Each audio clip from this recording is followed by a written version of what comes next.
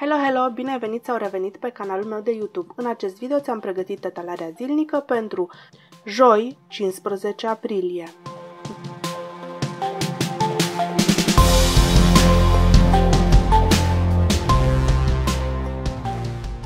Și acum hai să vedem ce mesaje putem extrage de la cărțile de tarot pentru această zi de joi în care soarele face aspect pozitiv de sextil cu marele benefic cu planeta Jupiter. Hai să vedem pe partea de dragoste, sănătate, bani, carieră, situație financiară.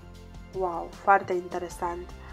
Înainte să analizăm cărțile care au ieșit pentru această zi, hai să vorbim puțin despre acest sextil dintre Soare și Jupiter, dintre Marele Benefic și planeta care ne reprezintă pe noi înșine, ego-ul nostru, persoana noastră în această viață. Primul rând, sextilul este un aspect foarte frumos, foarte armonios, de susținere. Este aspectul minor de susținere, dar totuși este un aspect pozitiv între două planete foarte frumoase pentru noi și pentru evoluția noastră și ne arată că astăzi o să fim mai norocoși decât de obicei. Putem să facem niște alegeri mai bune pentru noi, o să fie o zi mai ușoară, cu o energie degajată, nu prea o să fie tensiuni în niciun aspect al vieții noastre și putem să ne folosim de această energie ca să inițiem niște lucruri pozitive pentru noi sau să finalizăm cu succes niște proiecte în viața noastră.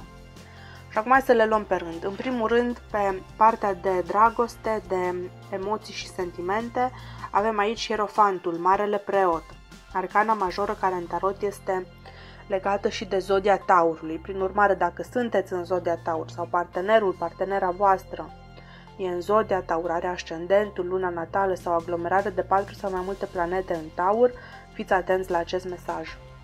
De asemenea, vreau să vă atrag atenția că această carte a ieșit exact pe această poziție în etalarea zilnică și vineri pe 2 aprilie. Prin urmare, gândiți-vă pe sectorul acesta al relațiilor voastre, al situației voastre de dragoste, ce s-a întâmplat în jurul datei de 2 aprilie, pentru că e posibil ca aceleași teme, aceleași persoane, aceleași conversații să reapară în viața voastră astăzi.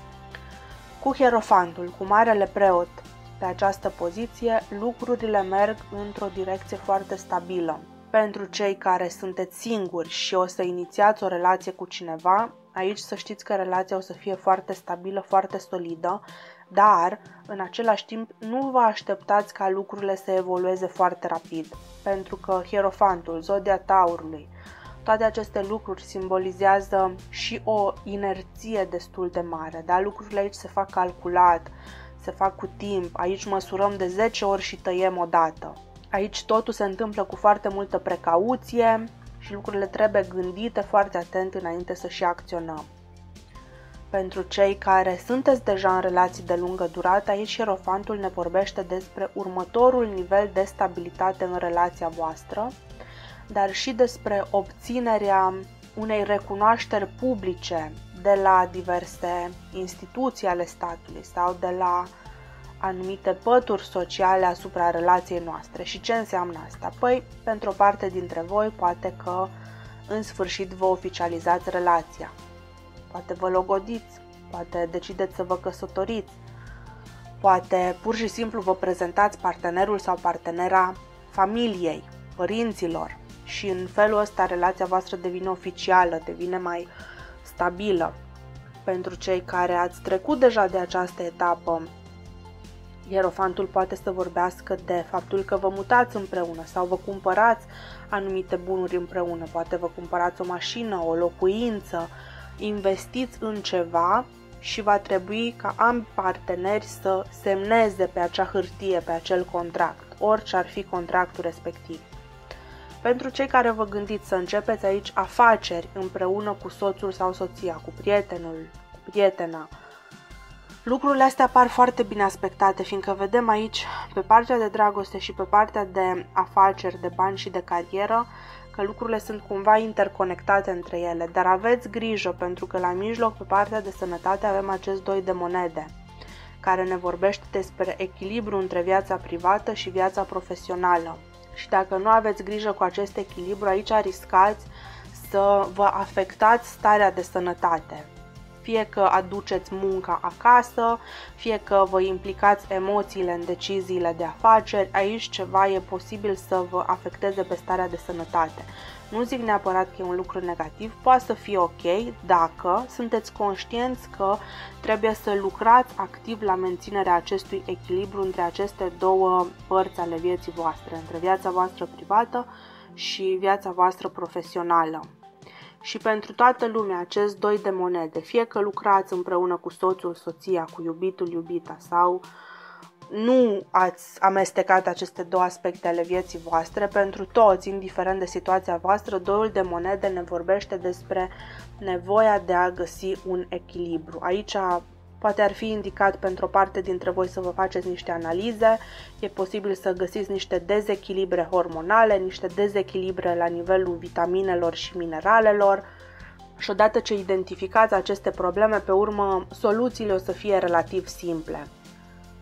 Pe partea de carieră, de bani, de finanțe, aici vedem asul de cupe.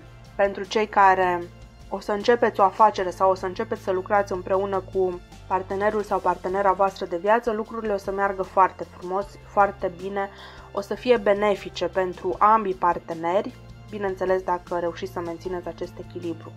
Pentru cei la care nu se aplică această interpretare, asul de cupe ne vorbește despre un nou început. Aici vi se oferă ceva. Poate vi se oferă un job nou, poate vi se oferă responsabilități noi sau proiecte noi la actualul loc de muncă, poate vi se oferă un job part-time, să faceți niște bani suplimentari pe lângă locul vostru de muncă actual.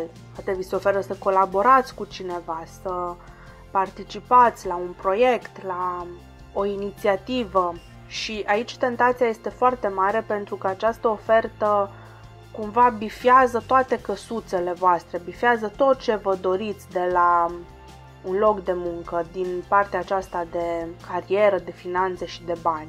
Și ar fi indicat să acceptați această ofertă, pentru că o să vă aducă lucruri bune, lucruri frumoase, mai ales sub acest sextil între Soare și Jupiter, lucrurile par foarte bine aspectate aici pe partea de finanțe, de afaceri și de carieră.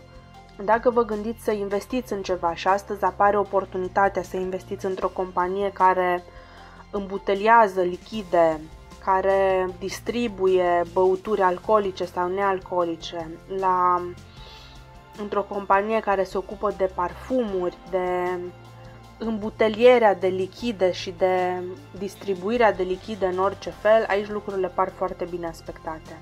Nu ezitați să investiți în acest tip de afaceri.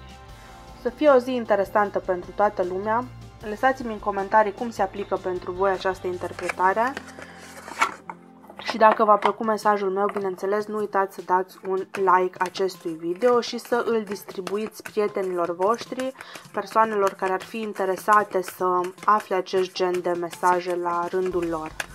Bun, și înainte să finalizăm etalarea, hai să scoatem și un mesaj de la cărțile Oracol, un mesaj suplimentar pentru această zi pentru toată lumea ca să clarificăm puțin etalarea de tarot. Hai să vedem, mesajul zilei este următorul. Îmi ofer iubire necondiționată. Simt cum inima mi se deschide și știu că în ea este loc pentru mine.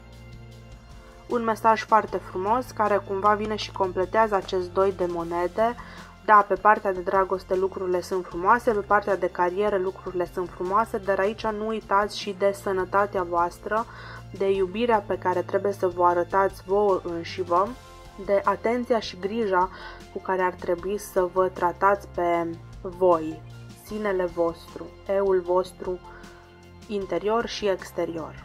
Vă mulțumesc că ați stat cu mine până la final. Ne vedem și mâine. Pa, pa!